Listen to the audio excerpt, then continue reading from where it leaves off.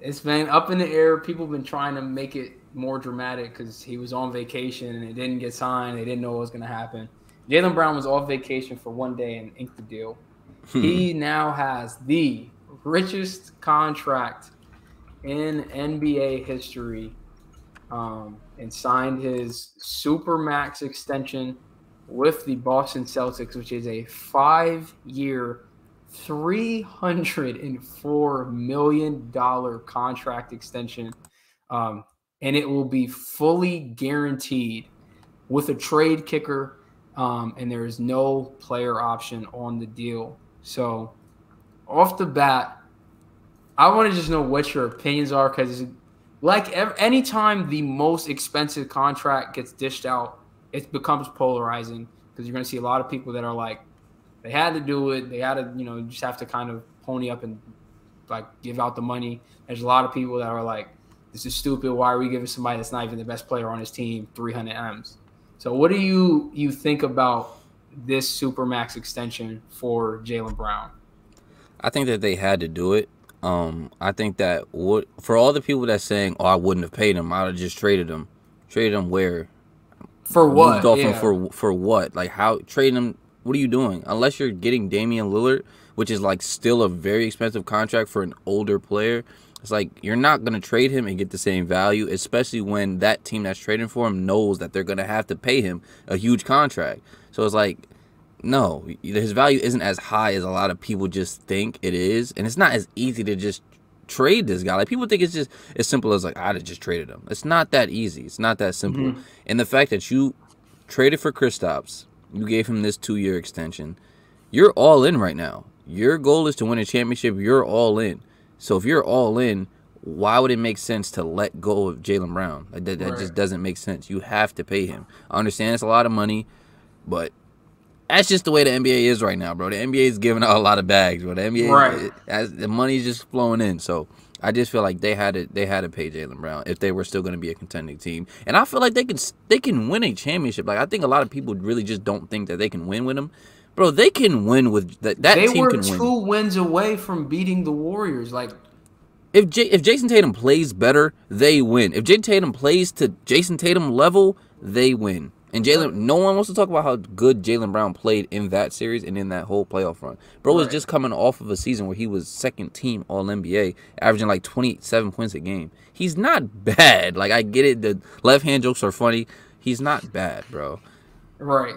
And I think I think we would both agree if they didn't sleepwalk in the Eastern Conference Finals to start that series, like they should have been in the finals this year.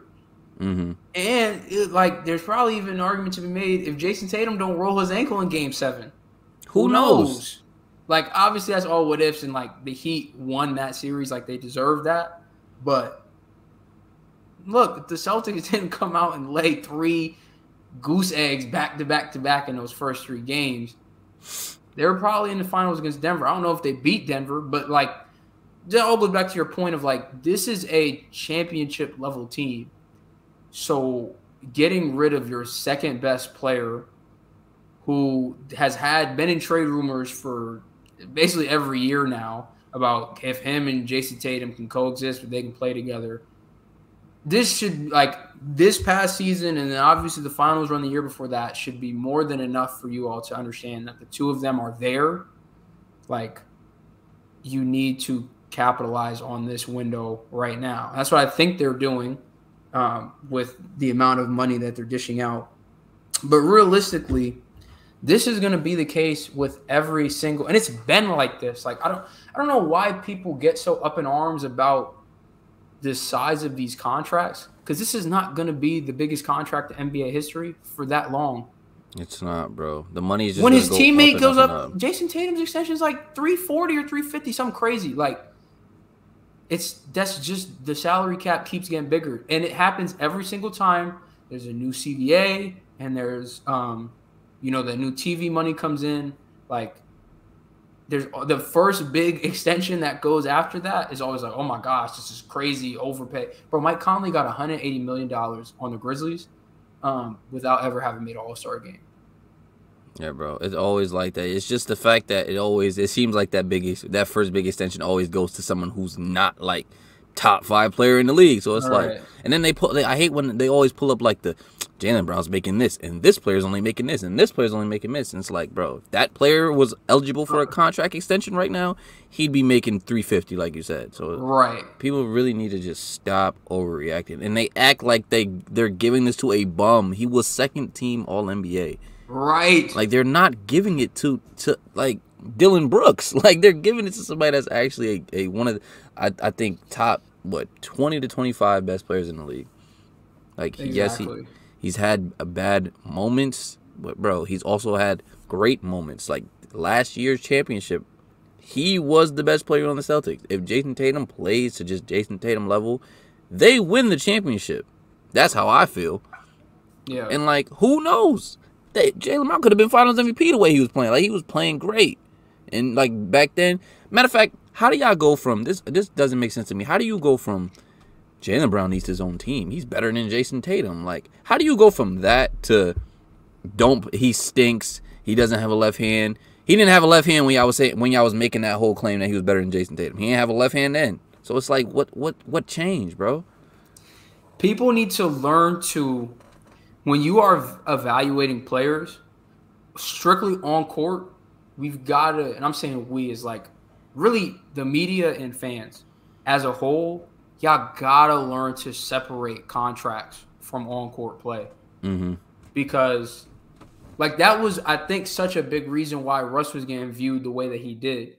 And it's clear like uh, he regressed, but he was getting viewed like it was like bro, there was legitimate people acting like Russ couldn't play in the NBA anymore.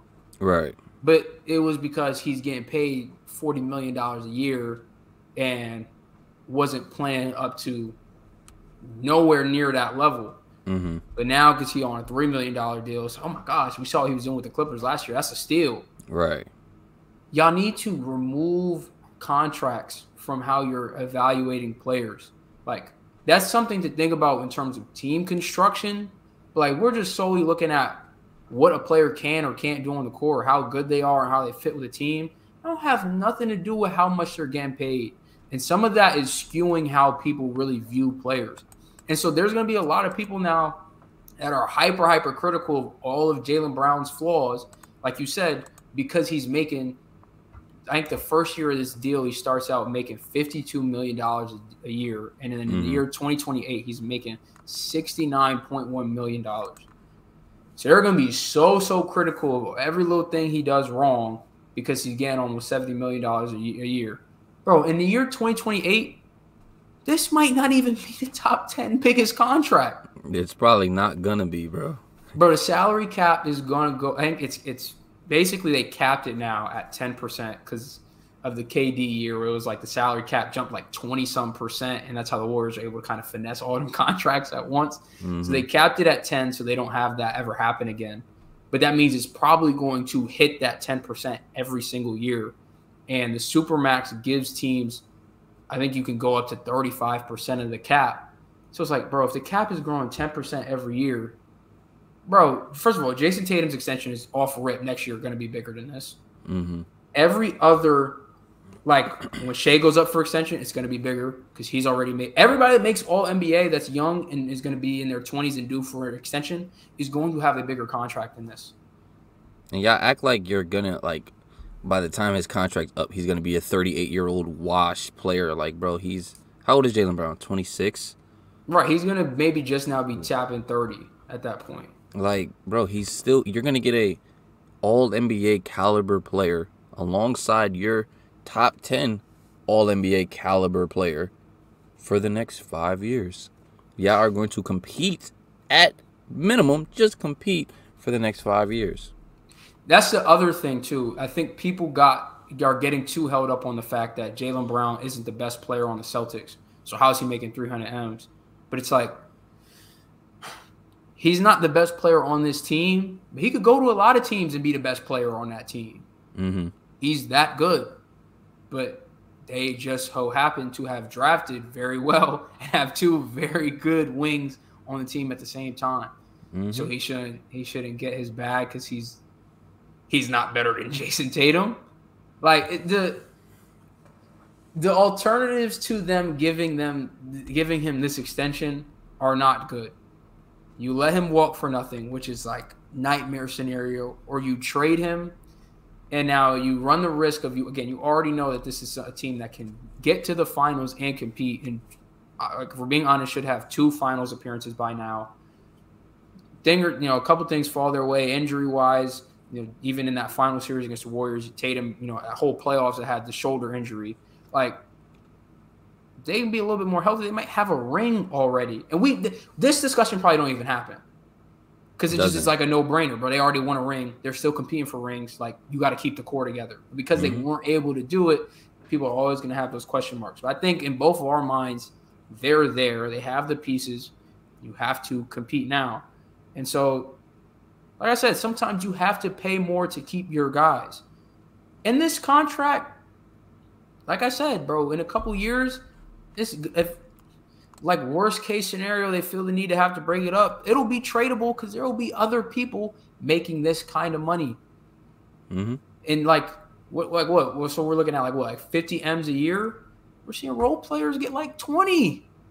You could co- package a couple of role players together and make the money match, like for real. So it's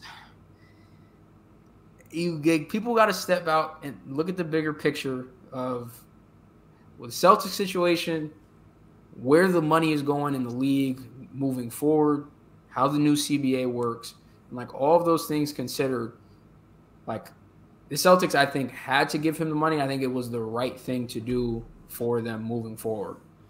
Yeah, and I just think people need to stop contradicting themselves because it's like, like I said before, Jaylen Brown was just better than Jayson Tatum in you guys' eyes. Now he stinks. Jayson Tatum can't win a championship as the number one option. So if you really believe that, why letting go of the other All NBA caliber player? Why would that make their chances to win a championship better? If you already think Jayson Tatum can't win it as a number one, let's make his chances worse by removing the second best player in the team who's all NBA. Like it's just everyone's saying that this is a problem and not coming up with a solution in their minds that would that can work or makes any sense. Like people Right. people think that like oh, I'm gonna just trade him. Like people think that like just saying like I'm gonna trade him just instantly means like I, I'm gonna trade him for another All NBA caliber player. Like that's just uh, that's not how right, and, stuff and the, works. the, the fit's gonna be the fit's gonna work. Fit's gonna be perfect. Money gonna work. Right, everything. they're just gonna click. Right. whoever they trade for is never gonna want out. Right. Like- that's what I'm saying. It's like, bro, that's it's not how this is real life, bro. It's not 2K where you can just put stuff in it and like you can just trade people. It's not 2K. Right, you can't bro. just click Jaylen Brown on a trade finder and look at all the different options. That's right. not Like how pe- really people have to be offering those players. Like it's right. it's not how that stuff works, bro. People need to stop Um, overreacting. Yeah. So at the end of the day, even all the like on the court stuff aside, look, bro. Shout out to Jaylen Brown. You just got you got the bag of all bags. Respect. 300 M's is crazy. Almost 70 million dollars for one NBA season is that's crazy, bro. We're in our lifetime, we're going to see people get like five years, 500 million dollars, make a hundred million dollars a year. That's crazy. that's crazy to think about. I'm waiting for somebody to get that Mbappe money, that 700 million dollars a year. All I know is, man, my future kid's gonna have that soccer ball. That's they need Mhm. because 700 M's is crazy. Bro, that's insane. Even the fact that it's like they have they would have to pay his team now like 350 million just to get him on the team. That's crazy. They bro. have too much money. I was They say that's too much. That's too much too bread. much money. That's too much bread, bro. I'm sorry. Would you take that? Like, so like let's say you were like I'm trying to think of somebody who's like peak of their powers right now. Like, all right, let's say you like you, Jayson Tatum, you just now about to hit your prime. You got all the endorsements, everything. You in the league, you established, right? You up for extension next year. You got like a five-year, three hundred and thirty million dollar deal, but this basketball team in Saudi Arabia call you. They said, "But we could get you on a two-year, two-year, one billion dollar deal." Dog, I would go play Afghanistan for, for a billion dollars, bro. Like, I don't care where it's at, bro. Shit me to the Bermuda Triangle. I'll play in the middle of the ocean, bro. I don't care, bro. I will hoop for a billion dollars. Come on, bro. That's a lot of money, bro. Like, bro, that dude that's getting a billion dollars could call Jaylen Brown broke. Crazy. like, he could say, bro, he could say, bro, let's go 100, 100 M for 100 M right now. right. And I bet you you'll run out first. Like, what? He could really, he, if Mbappe took this deal, he could take all of Jaylen Brown's five year extension and throw it in the ocean and still have double that left over. Honestly, bro, one person doesn't even need. That. What do you even need that much you money? For? Don't, you don't, you bro. Don't. Honestly, when you when you genuinely think about, like, really, really think about the concept of this, right? Let's just say Jaylen Brown. Forget the seven. that's a crazy amount, bro. It's like, bro, I'm gonna give you three hundred million dollars because you could make this basketball go into that basket over there. like, bro, that's such a crazy concept when you genuinely think about it. And because so many people want to watch you do that, here's three hundred million dollars. Right. Whole time I got freaking doctors saving lives, and, and like nobody, oh nobody care. You ain't getting working, no working thirty six hours straight. Right. You ain't getting you ain't getting three hundred m's, my boy. They I'm can't sorry. even get close going to, to seven figures. Going to school for a hundred years just to just to come out. And right. you got that's, this guy, this guy that's hit the genetic lottery, and he's just 300 M's. Like that's it's so crazy when you actually think about it. It really is.